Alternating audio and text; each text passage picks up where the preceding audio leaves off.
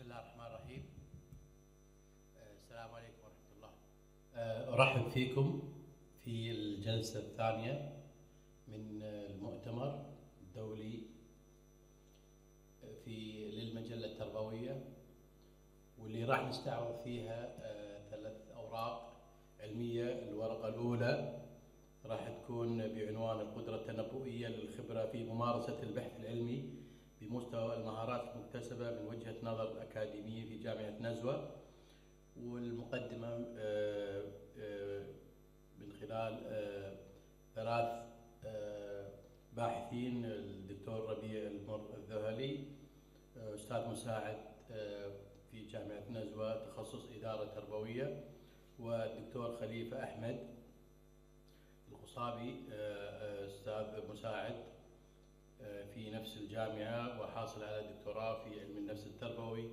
والأستاذة رحمة ناصر راشدية آه، أستاذة آه، حاصل على درجة الماجستير في الإدارة التعليمية ومن ثم ننتقل إلى الأستاذة هبة توفيق عودة أبو عيادة آه، من من المملكة الأردنية الهاشمية آه، لتقديم آه، آه، بحث أو ورقة بعنوان مصادر تمويل البحث العلمي التربوي دراسة تحليلية وهي أستاذة آه، حاصل على الدكتوراه في القيادة التربوية وأخيرا سنستعرض ورقة علمية آه، بعنوان الصعوبات البحثية التي تواجه الباحثين التربويين في الجامعات السعودية والمقدمة آه، بواسطة آه، الأستاذ أحمد شالح العتيبي وأستاذ الناحي سعد الحارثي والأستاذة هناء الحمراني وجميعهم من جامعة بيشا وحاصلين على درجة الماجستير في المناهج وطرق التدريس.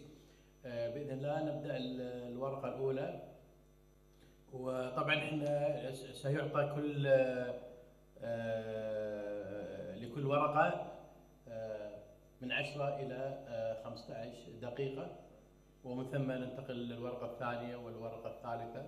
ونترك المجال إذا كان هناك أسئلة من قبل الجمهور آه، أسئلة ممكن تطرح من خلال من خلالي من خلال بعض الملاحظات المأخوذة من الورقة العلمية. فليتفضل مشكورا. تفضل يا أستاذ. شكرا دكتور الله يبارك فيك. السلام عليكم ورحمة الله وبركاته. بسم الله والحمد لله والصلاة والسلام على سيدنا محمد وعلى آله وصحبه أجمعين. لا شك أن البحث العلمي إن كان الحديث في عدد من الأوقات أو كثير من الأوقات عن قضية البحث العلمي ومنتوجه على ال- على النطاق الدولي العالمي أو النطاق الوطني. فلا شك أن هناك فوائد كثيرة أخرى على النطاق الشخصي من البحث آه، العلمي. هذه الفوائد ليست أحيانا كثيرة ليست مردودا ماديا أو في بغرض النشر أو ترقية وغيره وإنما هناك سمات يكتسبها صاحب البحث. يكتسبها من خلال ممارسته للبحث العلمي. ما- وكلما زادت هذه الممارسة وطال زمنها وتعددت جوانبها فإن الفائدة تكون أكثر. آه، يا ترى هذا هذا الافتراض الذي يقول أن فائدة كلما طالت المدة استفاد الباحث سمات جديدة واكتسبها. هل هذا الافتراض سليم؟ هل له ما يدعمه من خلال آه، تجربة من خلال البحث العلمي؟ فهذا البحث أتى ليبرز جانبا من الفوائد التي يمكن اكتسابها من خلال ممارسة البحث العلمي وأيضا يربط الخبرة العلمية أو الخبرة في ممارسة البحث العلمي في جوانبه المتعددة خصوصا أننا في الجامعات آه، نواجه آه، أو نجد الكثير من الباحثين بخبرات طويلة جدا أو خبرات بسيطة أو آه، قليلة أو بدون خبرة زمنية. هذا ال- الامتزاج بين الباحثين أيضا لا شك أنه يقدم فوائد عديدة هذا ما مشكلة الدراسة التي أمامكم وهدفها تمثل في استجلاء هذه الأمور التي سمعتموها.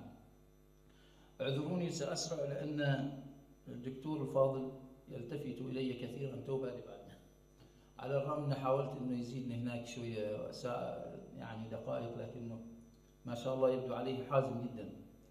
آه، عموما هذا البحث أيضا تركز على الأخذ من خبرات الأكاديميين من خلال الميدان الذي يعملون فيه وكان العينة التي أخذت منها تلك البيانات وجمعت هي عينة من الأكاديميين في جامعة نزوة بسلطنة عمان. آه، كنا نطمح نطمح مستقبلا إن شاء الله إلى توسيع هذه العينة التي بلغت سبعين أكاديميا. نامل مستقبلا أن تزيد إن شاء الله لتدعيم النتائج التي توصلت إليها هذه الدراسة. هذه هي أسئلة الدراسة التي أمامكم تتمثل في مستوى المهارات الموجودة لديهم والفرق بين الجانب الكليات العلمية وكليات العلوم الإنسانية وكذلك قضية تنبؤ الخبرة. أهم سؤال هنا اللي طرح وارتبط بالعنوان هو الجانب هل تتنبأ الخبرة وطولها الخبرة بالممارسة بالسمات أو الصفات التي يمكن أن يكتسبها الباحث في المجالات العقلية أو المجالات الوجدانية أو المجالات الاجتماعية باعتبار أن هناك تطوير نتصور أن هناك تطوير مهني للباحث من فكريا وعلميا آه، من خلال تفكيره وتخزينه للخبرة المستمرة في ذهنه ودماغه طوال فترة ممارسته للبحث العلمي. وهذا نمو آه، في الاتجاه العلمي والاتجاه النفسي أيضا. الجانب الوجداني حقيقة الجانب الوجداني يمثل جانبين. جانب الاستمتاع بالبحث حتى يصل البعض إلى درجة الإدمان في البحث. وجانب آخر اللي هو التعود على الصبر لأن البحث نفسه وممارسة البحث تحتاج إلى صبر صبر في الوقت صبر في السهر صبر في التفكير. صبر في على ضبط النواحي الأخلاقية للبحث أيضا لأن هناك المجال متروك للتجاوز الأخلاقي في مجال البحث. فمجرد الالتزام بها هذا ممارسة للصبر. هذا كفيل كثرة الممارسة كفيل أن يعود الباحث على هذه الممارسات. الجانب الآخر هو الجانب المهارات الاجتماعية. كون الباحث في العلوم الإنسانية أكثر تواصلا حقيقة آه، من باب المنطق النظري. أن الباحث في المجال العلوم الإنسانية أكثر تواصل آه، اجتماعي في جمعه للمعلومات جمعه البيانات آه، بشتى طرقها وتواصله مع العينة المقصودة. الباحث العلمي له جوانبه وطرق وأحيانا عينة داخل المختبر. إلا أن الباحث في الجوانب العلوم الإنسانية والتربوية بالذات يتواصل مع الأفراد وبالتالي يكتسب نواحي تواصل اجتماعي منظم أكثر تنظيما من حيث اشتراطات البحث العلمي. في سؤال التنبؤ طبعا تم استخدام الخبرة الخبرة المستخدمة يعني لم نستخدم أو يستخدم الباحثون الخبرة. وطبعا فليعذرني الزميلان العزيزان الدكتور ربيع والأستاذ رحمة أن تقدمتهم إلا أنهم هم أصروا على ذلك. جهودهم واضحة مشكورة جزاهم الله خير.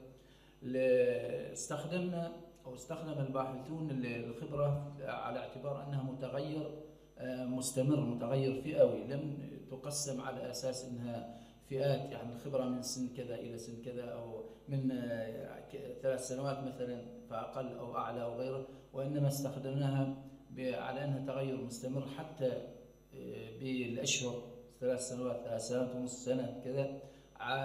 حتى نستطيع إجراء تحليل الانحدار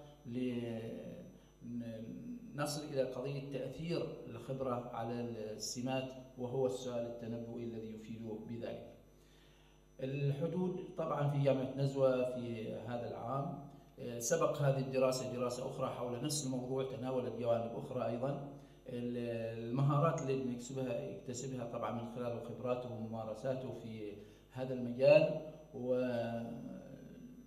ومحددة في جوانب العقلية والوجدانية والاجتماعية. لن أطيل في هذا إلا أنه من الجيد أن تتضح هذه الشريحة التي أمامكم عن عينة الدراسة 70 آه، أكاديمي. للأسف قد يكون في شيء من الخلل إلا أنه الممارسات الإحصائية أحيانا تجيز انتهاك بعض الاشتراطات في قضية عدم تساوي العينة. في الاختبار العينة 50 من الكليات الإنسانية و20 من الكليات العلمية وبالتالي قد يكون هناك فارق إلا أنه اختبار المستخدم T-test يجيز الانتهاك في بعض الأحيان لأنه يعطي تعرفوا كما تعرفوا يعطي نتيجتين نتيجة عدم تساوي التباين وتساوي التباين بين المجموعتين. آه، وإن شاء الله نأمل تعديل ذلك مستقبلا إن شاء الله. أما بالنسبة إلى النتائج المعروضة في السؤال الأول تم استخدام المتوسطات لكن في قياس المستوى آه، أدخلنا قضية اختبار T-test للعينة الواحدة. لأنه T-test العينة الواحدة كما تعلمون آه، يميز بين الارتفاع يعني يتكلم عن المتصل النفسي بين تجاوز الوسط الوسط المفترض اللي هو يتميز به المجتمع نفترضه على المجتمع التجاوز نحو اليمين أو نحو اليسار. فاستخدم تيتس للعينة الواحدة لبيان ذلك وتبين طبعا أن هناك ارتفاع للمتوسط عن الوسط الفرضي وهذا بالاختبار الإحصائي تبين أنه أيضا ارتفاع ذا دلالة وبالتالي يبين لنا أنه هناك أثر للخبرة. خصوصا كما قلنا أن هناك الخبرة تراوحت بين سنة واحدة وبين 30 سنة في البحث العلمي وبالتالي عند امتزاجها بالتأكيد أنه توافق هذا الكلام أيضا مع الافتراض النظري الذي آه، تكلمنا عنه في المقدمة. وبالتالي مستوى الاستفادة من في المجالات الثلاثة هذه العقلية والوجدانية والاجتماعية مستوى الاستفادة في السمات هذه من خلال الخبرة وطولها بالتأكيد يرجى الفائدة لأن الإنسان يتمارس يتمرس فيها كثيرا. المسألة الثانية التي ذكرتها قضية الفروق كانت الفروق لصالح الكليات العلمية. أتمنى أن ما نكون متحيزين كما قلت اختبار T-test يجيز لنا بعض الأحيان انتهاك لهذا اللي هو تساوي العينتين ويعطينا نتيجة. لكن أيضا نأمل آه، مستقبلا نكون أكثر دقة بتوسيع العينة وأيضا تقاربها على الأقل بدل 50 20 آه، هناك حديث كثير لدى المتخصصين عن قضية الفارق البعيد بين العينتين إلا أنه من خلال الممارسة البحثية التي قمنا بها هناك فرق في اكتساب المهارات بين لعل ذلك أنه كثير من الزملاء الأعزاء في الكليات العلمية ربما محصورين في المختبر تجاربهم في المختبر أكثر وبالتالي تعاملهم مع العينات يعني غير الإنسانية ما ليست بشر يعني سواء كان مع آلات سواء كان مع عينات حية عينات إلى آخره. وبالتالي وجودهم في المختبر من خلال توجه البحث وقام به أشخاص في العلوم الإنسانية ربما جاء الفارق من هذا الجانب. أيضا في تحليل الانحدار تبين أن هناك طبعا استخدم اللي هو تحليل الانحدار البسيط وليس تحليل الانحدار المتعدد. نأمل إن شاء الله نطور دراسة أن نستخدم تحليل الانحدار المتعدد بحيث أنه نستخدم ثلاث الجوانب العقلية والوجدانية والاجتماعية وتنبؤها ب يعني تنبؤ الخبرة تأثيرها على كل واحد منهم. كل واحد لوحده. الآن اسمها الخبرة مجتمعة لوحدها في جانب والجانب الآخر من المعادلة اللي هي السمات هذه أيضا مجتمع الدرجة الكلية تبين طبعا في في هذا المجال أن الخبرة لها دورها لها دورها في الخبرة لها دورها في رفع مستوى وتأثيرها في مستوى هذه السمات المكتسبة وتفسر يمكن تفسير من التباين الموجود. الخبرة تفسر من التباين في اكتساب السمات ما نسبته 31% طبعا كلنا نؤمن أن المسائل الإحصائية أو المسائل النفسية أيضا تساهم فيها متغيرات عديدة ليست جانب واحد. وحقيقة نحن يعني على درجة من الرضا أنه النموذج المستخدم في تحليل الانحدار يستطيع أن يفسر ما نسبته 31% أظن في خطأ في قضية البوينت بعض الأحيان وين مكتوبة فإذا ظهرت هكذا فاعذرونا. هنا ظاهرة الآن زينة يعني. ل 31% مع يعني هذا أن هناك 69% تفسرها جوانب أخرى وهذا أتصور شيء طبيعي أنه الإنسان تؤثر في خبرته وكذا وفروق فردية وجوانب باحتكاكاته. هذه الصفات حتى لا يظن ظان أنه مجرد يمارس ببحث أيضا خلاص اكتسب آه هذه السمات وإنما قد يكتسبها من جوانب أخرى لارتباط كما تلاحظون آه قوي ودال. كنت أتمنى أن أيضا أدرجنا الجدول الآخر اللي هو البيز هذه معاملات الانحدار الموجودة.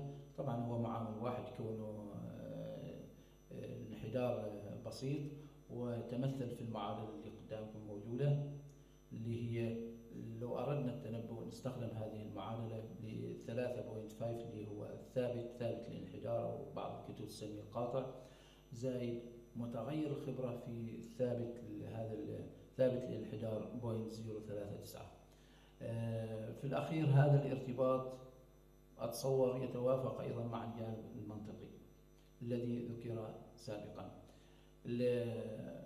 إن كان من توصيات فالتوصيات في ذلك المجال كثيرة إلا أننا نجمل ذلك في أن ننتبه إلى الفوائد الهامشية للبحث. ماذا وراء السطور؟ هذا من وراء السطور. هذه أشياء خلف كامنة فوائد مثل ما نضرب مثال أحيانا نقول للطلاب أنك أي تحليل تعمله بعض التحليلات يطلع عندك ألفا كرنباخ هدية في كثير من من التحليلات. هذا أيضا أنه في سمات وفي فوائد أخرى تطلع هدية مع ممارسة البحث. ليس الذي نحسبه فقط قضية نشر وتغطية وغيره وإنما في جوانب أخرى نستفيد منها.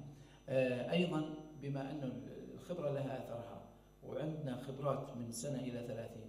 أيضا من الجيد لما نشكل فرق نخلط الفريق بين خبرات متعددة سواء كان بتنوعها أو غيره أيضا قضية التخصصات ودمجها وأيضا إحنا الثلاثة طبعا مختلفين التخصصات في هذه الورقة. بالتالي الدمج هذا يفيد يفيد كل يطرح في جانبه. بل هناك توصية أخرى قضية التعاون بين المجال العلمي والمجال الإنساني حتى ما يكون فريقين متباعدين متناقضين. هذا والسلام عليكم ورحمة الله وبركاته. أستاذنا أظني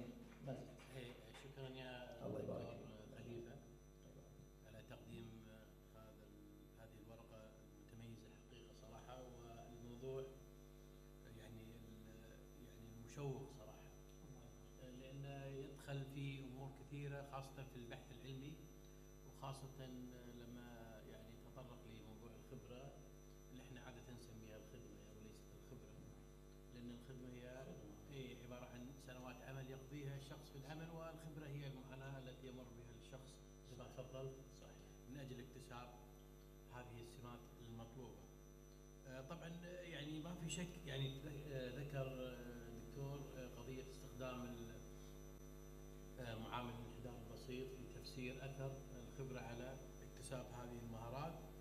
بس آه، للتوضيح يعني مذكور في الأبستراكت في مكتوب متعدد اي في في الملخص مذكور إن النسبة هي 81 والصحيح 31% صح؟ لا لا هو 81 في السؤال الأول على اعتبار أنه قسمت ال- ال- المتوسط قسم على على خمسة.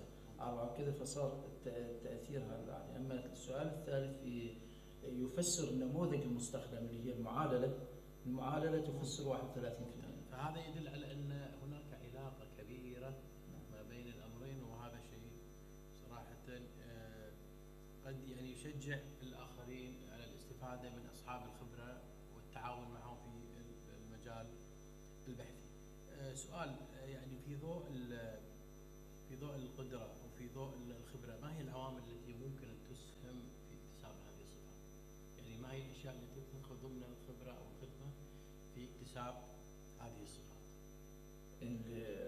طبعا من خلال الدراسة ال- الثلاث جوانب هذه متكاملة.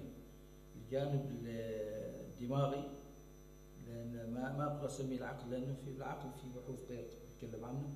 آه، الجانب الدماغي بكل ما فيه من تفكير وغيره والجانب الوجداني والجانب ال- الاجتماعي. كل واحد يساهم يساهم فيها لكن هذه الجوانب نفسها قد تساهم في الخبرة. يعني مسألة الاستمرارية. الآن الآن من بنود الإبداع قضية شروط الابداع المثابرة.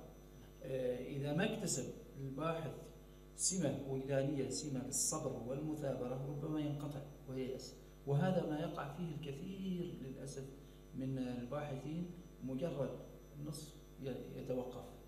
فنفسها هذه ممكن تساهم في استمرارية الخبرة. أشكرك يا. دكتور خليفة على هذه الورقة. الله يعطيك العافية. شكرا جزيلا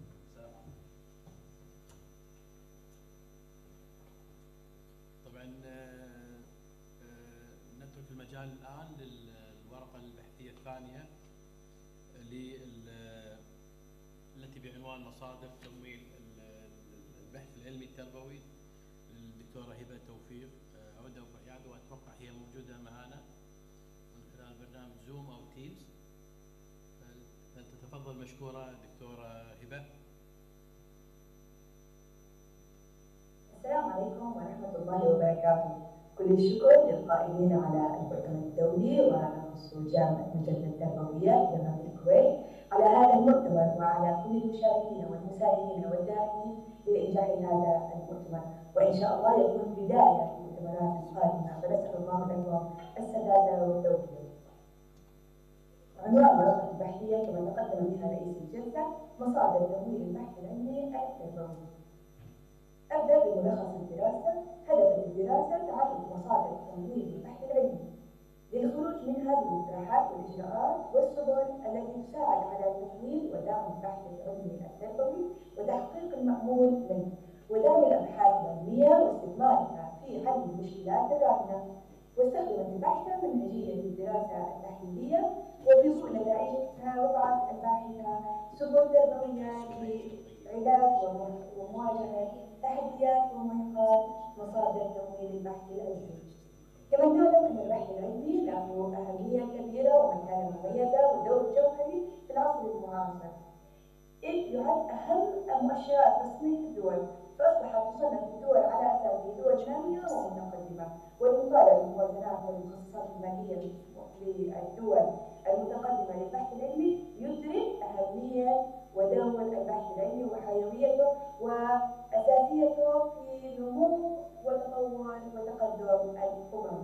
إذ يعد أحد سمات العصر الهامة في عصر التنافسية والعولمة والنمو المتسارع. ونظرا لذلك جاءت مشكلة الدراسة إذ أن المؤسسات التربوية باعتبارها نظم اجتماعية يجري عليها ما يجري على الكائنات الحية من نمو تطور تقدم تحول رقمي مواجهة التحديات إن التغيير الرقمي أصبح ظاهرة في العصر الرقمي الذي نعيشه والمؤسسات لا تتغير من أجل التغيير كنفسه ولكن تتغير من أجل التطوير والازدهار وتحقيق التنمية ومواكبة التغيرات والمستجدات والفرص في البيئة.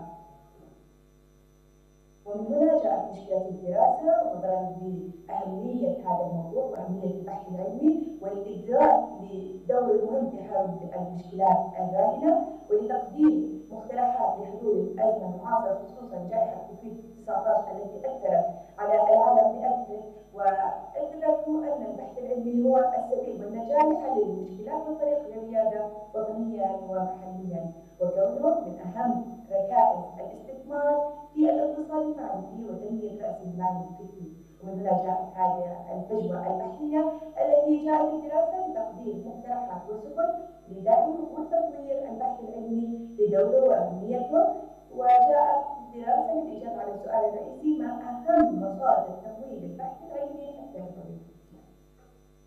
أهداف الدراسة جاءت الدراسة لتغطية مجموعة أهداف أهمها تعرف أهم مصادر تمويل البحث العلمي خصوصا بعد جائحة كوفيد 19 وأهم التحديات التي تواجه البحث العلمي وسبل تفعيل مصادر حديثة وجديدة واقتراح توصيات لدعم البحث العلمي. أهمية الدراسة تأمل الدراسة يستفيد منها صانعو السياسات من خلال استثمار مصادر تمويل جديدة تغيير تحسين تطوير. ويؤمل أن تستفيد أيضا من توصيات هذه الدراسة القيادات الجامعية وأعضاء التدريس من قيام بدورهم بتشجيع وتحفيز وتنمية الإبداع والابتكار لدى الطلبة ولإجراء مزيد من الأبحاث التربوية ويؤمل أن تكون إضافة علمية بإذن الله تعالى ويؤمل أن توفر آفاق علمية بحثية للباحثين للخوض في من هذا المجال لإحداث التطور والتغيير الإيجابي المطلوب بإذن الله. منهجية الدراسة اعتمدت الباحثة المنهج الوصفي التحليلي الاستنباطي بالرجوع إلى الأدبيات والدراسات السابقة وعلى أساسها كونت أفكار ومفاهيم خاصة في مجال الدراسة واستعرضت والدراسات السابقه المتعلقه بهذا الموضوع وعلى اساسها تم تطوير سبل تربويه مقترحه. مصطلحات الدراسة جاءت مصطلحات الدراسة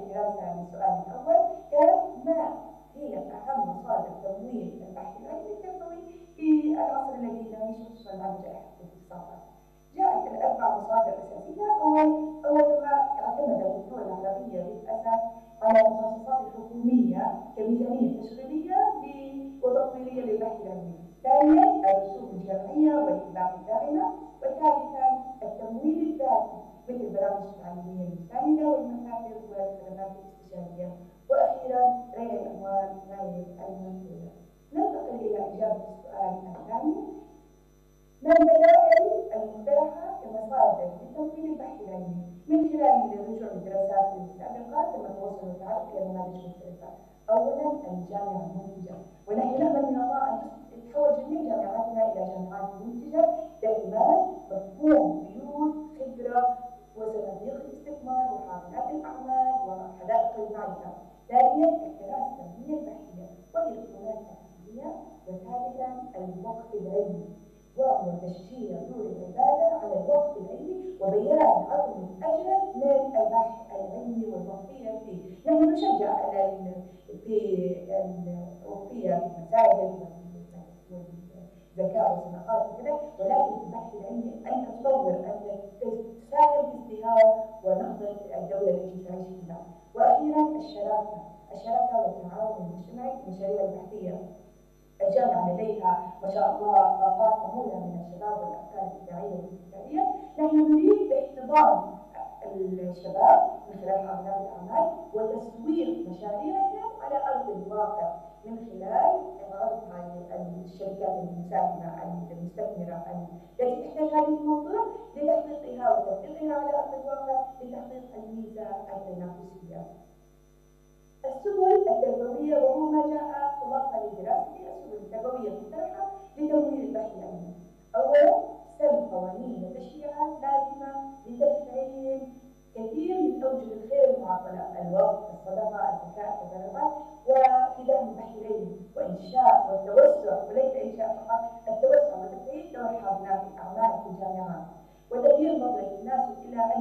والثواب يحصل عليه فيما يحصل عليه في بناء المساجد والمدارس تحفيظ القرآن الكريم. ثانيا روح المنافسة بين رجال وسيدات الأعمال التي دخل فيها مجتمعنا بالخيرين بالتبنع للمؤسسات التربوية وتبيين أسمائهم كتشجيع وتحفيز خصوصا للعائلات والعاملين والشركات على المنافسة في أعمال الخير. ثالثا العمل على إيجاد آليات مناسبة واليات مشاركة البنوك والشركات جزء من الضريبه تحول بدل ما أنها تحول إلى رصيد الدولة بل تحول إلى دعم البحث العلمي وزياده ميزانيته وتدريب أعضاء هيئه التدريس على المستجدات التقنيه والاقتصاد نعم. وتبني فكره الجامعة المنتجه أنتقل إلى التوصيات السريعة. اولا الدور الإعلامي. العمل على زيادة الاعلانات والدعايات بل حتى الترويج لها فانا من الجيل الذي عاش على أفكار لذيذه التي اصبحت واقعا نعيشه الآن اتواصل معكم في هذا عن طريق التي كانت مجرد احلام في الطفولة. تأجير المباني ذلك لتاجير المباني والقاعات والمؤتمرات والاعلام عنها خارج الاسوار الجامعة. وثالثا إنشاء بيوت الخدمة والمكاتب الاستشارات وخدمات مهنية خارج اسواق الجامعة. قال النبي صلى الله عليه وسلم من دعا إلى الهدى كان له من الاجر مثل أجور المبتدع لا ينقص ذلك من أجور المجيئه فتخيلوا كيف إذا كان ذلك في العلم. ونحن نعلم ان فداء الاسرى في غزوة بدر؟ كان 4000 درهم. وجعل الرسول صلى الله عليه وسلم فداءهم ان يعلموا اولادهم المصاري في الكتابه فجعل لبين أهمية العلم جعل الفداء الروح هي التعليم وذلك لبيان أهمية العلم. شكرا لحسن استماعكم وشكرا لإتاحة الفرصة للمشاركة في مؤتمركم الكريم وأسأل الله لكم السداد والتوفيق وأن ترى توصيات هذا المؤتمر إن شاء الله. ألف شكر دكتورة هبة على هذه الورقة المميزة. حقيقة خاصة الموضوع حساس ويتعلق في تقدم الدول من خلال الأبحاث العلمية والتي يجب أن تكون مصادرها متنوعة وميسرة وليست معقدة. ما في شك إن الدكتورة ذكرت أن هناك نية ممكن في المستقبل للتعرف على مشاكل تيسير وتمويل هذه الأبحاث ونسأل الله رب العالمين بأن يوفقها لما يرضى وأن يخرج إلى النور ونرى هذه النتائج ونستفيد منها في البحث العلمي. هل هناك أسئلة من الحضور ما دام عندنا متسع من الوقت في خصوص هذا الموضوع؟ المجال مو اي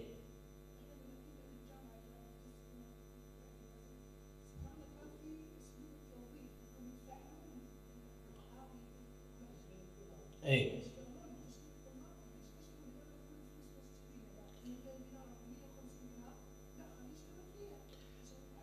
ممتاز يعطيك العافيه طبعا إحدى الحاضرات تذكر أهمية التشغيل الطلابي في دعم البحث العلمي.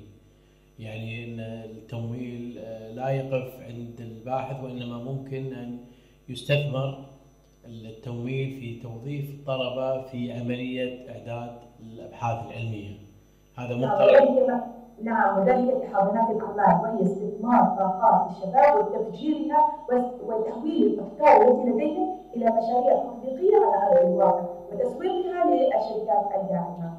ممتاز، هل في أسئلة أخرى في هذا الموضوع؟ أه نشكر الدكتورة هبة على هذه الورقة وننتقل بإذن الله إلى الورقة الأخيرة. مشكورة يا دكتورة نراك إن شاء الله على خير إن شاء الله أي بأرض الكويت إن شاء الله نتشرف فيكم. إن شاء الله بإذن الله تعالى. شكرا يا دكتورة.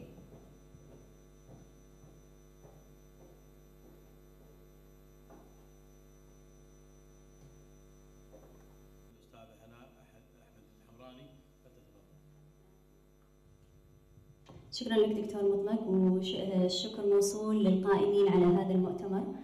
آه، بسم الله الرحمن الرحيم الحمد لله رب العالمين والصلاة والسلام على نبينا محمد وعلى آله وصحبه وسلم تسليما كثيرا. أما بعد فحديثنا بإذن الله تعالى في هذه الورقة سيكون عن الصعوبات البحثية التي تواجه الباحثين التربويين في الجامعات السعودية. آه، أشكر زملائي الأستاذ أحمد العتيبي والأستاذ مناحي الحارثي على ثقتهم وترشيحي لتقديم هذه الورقة. آه، مشكلة الدراسة للبحوث التربوية دور مهم في تحسين الممارسات التربوية. وذلك لرفع جودتها ولرفع جودتها لا بد من وجود باحثين متمكنين من مهارات البحث. إلا أن الباحثين التربويين على مختلف درجاتهم العلمية يواجهون العديد من الصعوبات والتي أكدت عليها العديد من الدراسات العربية والأجنبية. كما أثبتتها نتائج دراسة استطلاعية قام بها الباحثون على عين عشوائية إضافة إلى الخبرة الذاتية للباحثين في مرحلة الدراسات العليا وتواصلهم مع زملائهم في تلك المرحلة ولذلك فإن الدراسة الحالية تجيب عن السؤال التالي ما الصعوبات البحثية التي تواجه الباحثين التربويين في الجامعات السعودية عند كتابة أبحاثهم من وجهة نظرهم؟ تفرع من هذا السؤال عدة أسئلة فرعية وهذه الأسئلة الفرعية تناقش ست محاور. المحور الأول اختيار مشكلة البحث ثم إعداد مشكلة البحث توظيف أدبيات البحث والدراسات السابقة إعداد منهجية البحث وتحديد إجراءاته تحليل البيانات وتفسيرها صعوبات بحثية أخرى تتضمن النشر العلمي اللغة وما إلى ذلك. الدراسة الحالية مهمة وذلك لدعم النشر العلمي لأعضاء هيئة التدريس مساعدة طلاب الدراسات العليا على إنجاز أبحاثهم في الوقت المحدد تخفيف العبء عن المشرفين العلميين تحفيز الباحثين على إجراء المزيد من الدراسات في هذا المجال. المنهج اللي استخدم في الدراسة هو المنهج الوصفي واستخدمنا الاستبانة كأداة للدراسة. مجتمع الدراسة يتكون من جميع الباحثين التربويين في الجامعة السعودية لعام 1441 2020 ميلادي وهم طلاب البكالوريوس والماجستير والدكتوراه وأعضاء وأعضاء هيئة التدريس بمختلف رتبهم. شملت العينة 779 باحث وباحثة من مجتمع الدراسة. نتائج الدراسة آه، يعني نتائج شيقة حقيقة وأجمل ما في الموضوع وإحنا يعني في اليوم الثاني من المؤتمر ومر علينا العديد من الأبحاث انه هناك اتفاق كبير جدا بين البحث الحالي والدراسات السابقة الموجودة في هذا المؤتمر. فسنتطرق لذلك اليوم بإذن الله تعالى أثناء عرض النتائج.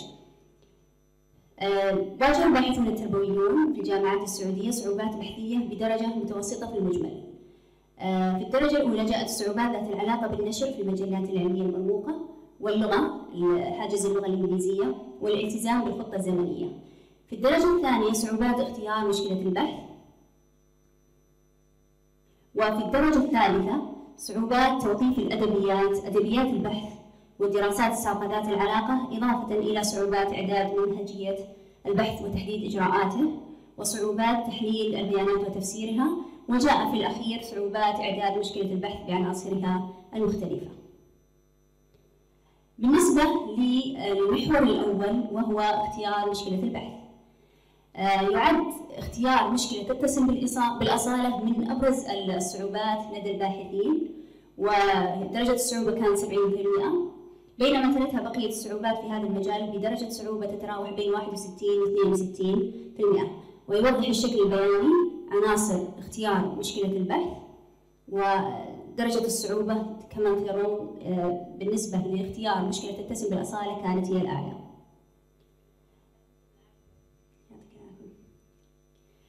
بالنسبة للصعوبات التي تتعلق بإعداد مشكلة البحث بعناصرها المختلفة وهي مقارنة بجميع المحاور هي الأقل صعوبة لدى الباحثين آه، وأعلى صعوبة في هذا المجال هو إيجاد مصادر متعددة وداعمة للمشكلة يليها إجراء دراسة استطلاعية داعمة للمشكلة.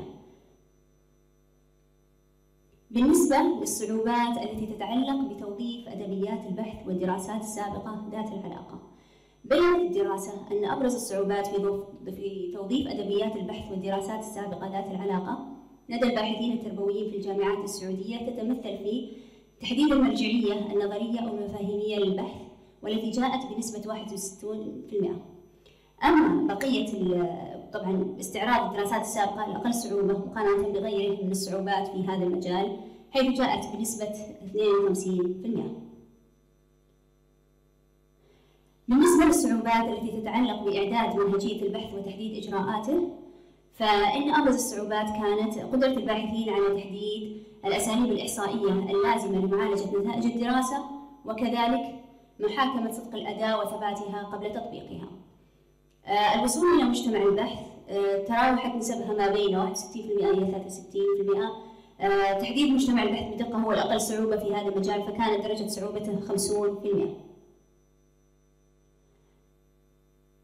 بالنسبة لتحليل البيانات وتفسيرها قدرة الباحثين على تنظيم البيانات باستخدام الأشكال البيانية كان هو الأعلى صعوبة بدرجة 60% أما الأقل صعوبة فكان كتابة التوصيات الإجرائية. أخيرا الصعوبات الأخرى. أبرز الصعوبات الأخرى التي يواجهها الباحثون التربويون في الجامعات السعودية. أول صعوبة كانت نشر الأبحاث في مجلات ذات قيمة علمية. ثانيا التعامل مع اللغة الأجنبية. ثالثا الالتزام بالخطة الزمنية المتوقعة لإنجاز البحث. والوصول إلى الأدبيات اللازمة لموضوع البحث. وأخيرا توثيق المراجع. 38 آه، فقرة أو صعوبة بحثية.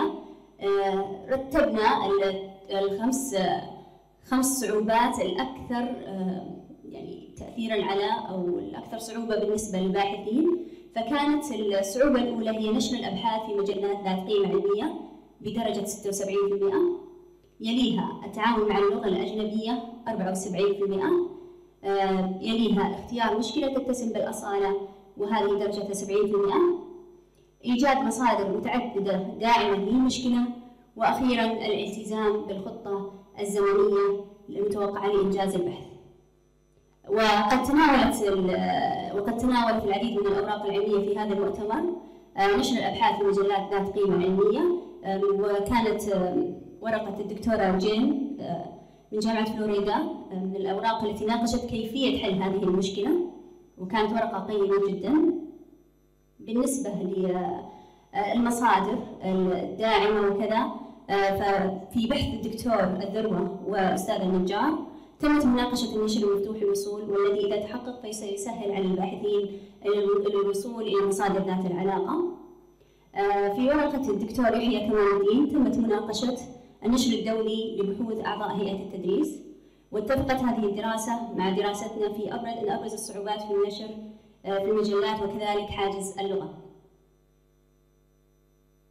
بالنسبة للفروض آه، درسنا آه، متغيري الجنس وكذلك متغير الدرجة العلمية. فأوضحت الدراسة لدينا وجود فروق ذات دلالة إحصائية في كل محور من المحاور تعزل بتغير الجنس وذلك لصالح الباحثات مما يعني آه، أنهن يواجهن صعوبات بحثية بدرجة أعلى مما يواجهها الباحثون. كما أوضحت الدراسة وجود فروق ذات دلالة إحصائية في كل محور من المحاور تعزل من تغير الدرجة العلمية حيث بينت أنه كلما ارتفعت الدرجة العلمية كلما قلت الصعوبات التي يواجهها الباحث التربوي في كتابة بحثه. وحقيقة عندنا دراستين آه، في المؤتمر آه، أكدت على هذه الرؤية وهي دراسة الدكتور يحيى كمال الدين. آه، وكذلك الدراسة الحالية قبل شوي تفضلتم بها الدكتور الهذلي والقصابي والراشدية. كانت أيضا تحدثت عن أنه كل ما يعني زادت الخبرة كل ما زادت المهارات لدى الباحث. بالنسبة للتوصيات بناء على نتائج هذه الدراسة فإنها توصي بما يلي. تطوير مقررات البحث العلمي في كليات التربية في الجامعات السعودية خاصة في مرحلة البكالوريوس تدريب الباحثين التربويين في الجامعات السعودية على اختلاف درجاتهم العلمية على التعامل مع الدوريات والمجلات وكيفية النشر وإعطاء حوافز للمتميزين في ذلك. الاهتمام بالمكتبات الجامعية وتوفير مصادر المعلومات المتنوعة. الاهتمام بتطوير اللغة الإنجليزية من قبل الجامعات والباحثين على حد سواء تطوير آليات اختيار المشكلات البحثية الأصيلة ذات العلاقة بمتطلبات التنمية في ضوء رؤية المملكة العربية السعودية 2030 وبرامجها وتدريب الباحثين على الاستفادة منها. بالنسبة للمقترحات حقيقة نأمل فعلا أنه يستفاد من هذه الدراسة لفتح آفاق جديدة ومختلفة ونوعية في مجال البحث العلمي. المقترح الأول هو إجراء دراسة تحليلية لمقررات البحوث التربوية في الجامعات السعودية وفق رؤية المملكة العربية السعودية 2030. المقترح الثاني إجراء دراسة نوعية باستخدام المراجعة المنهجية اللي هي Systematic Review لتحليل الدراسات الدراسات التي تناولت الصعوبات البحثية لدى الباحثين التربويين.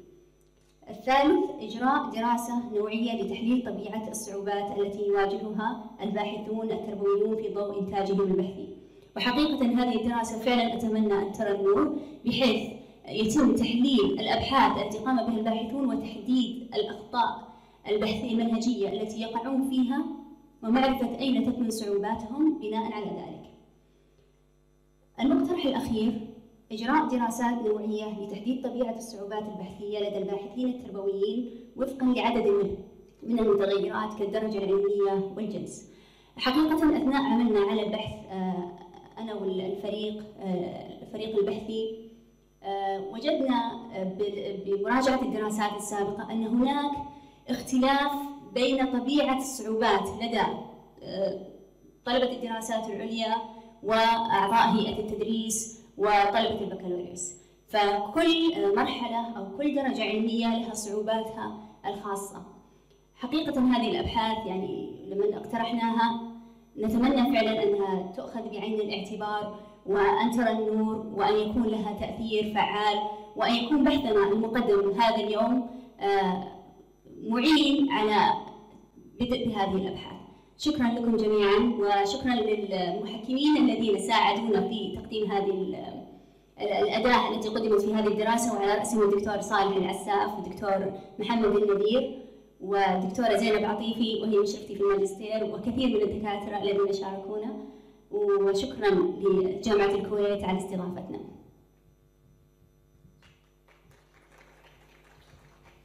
ألف شكر أستاذة هنا هذه الورقة، طبعا الورقة العلمية التي تحدثت عنها الصعوبات البحثية التي تواجه الباحث التربوي في الجامعة السعودية من المواضيع الحساسة وخاصة يعني على وجه الخصوص لل لل يعني الباحثين أو الراغبين في استكمال مسيرتهم الدراسية والحصول على درجة الدكتوراه في التخصصات.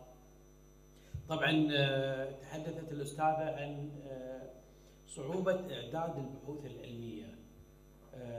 عند كثير من المهتمين وقد ترجع لاسباب كثيرة منها توظيف الأدبيات وأيضا اختيار المنهج البحثي وأيضا قد تكون هناك عوامل نفسية وعوامل اجتماعية وأيضا أمور مالية متعلقة في الميزانية وأيضا قد تكون متعلقة في أمور شخصية كالقدرة الكتابية وأيضا من الأمور المهمة قد تكون قضية الإعداد العلمي. طبعا أي باحث ليس من السهل عليه طبعا اختيار مشكلة البحث وهذا ما تطرق إليه في هذه الورقة طبعا اختيار الموضوع جزء كبير ومهم في عملية الرحلة أو مسيرة هذا البحث. لأن كل العقبات والوقفات تكون مرتكزة على مفهوم العنوان. فبالتالي قد يكون هناك يعني مقترح لعملية القراءة أو إحنا نسميها المجتمعات المتعلمة التي تحرص على تزويد المهتمين في البحث العلمي في جميع الأمور التي ممكن أن تعين في عملية التميز وتجويد العملية العلمية وخاصة في البحث العلمي. هل هناك أي سؤال يوجه للأستاذة هنا نيابة عن الزملاء؟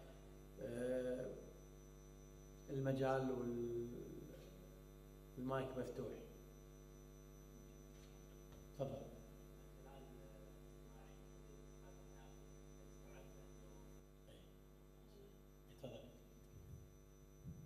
تفضل. سؤال جدا جميل ولعله سؤالك هو حل لمشكلة أصلا موجودة يعني إحنا المقررات لدينا في الغالب تدرس باللغة العربية في كليات التربية ولذلك لما يجي وقت كتابة البحث والبحث باللغة العربية ولكن لابد من الرجوع إلى المصادر باللغة الإنجليزية يواجه الباحث صعوبة في ذلك لأن هناك فجوة بين طريقة تعلمه في الكلية وبين ما يجب عليه فعله أثناء كتابة البحث ففعلا إحنا بحاجة إلى أنه يكون هناك تكثيف للغة الإنجليزية أثناء تعلم آه، المقررات في كليات التربية.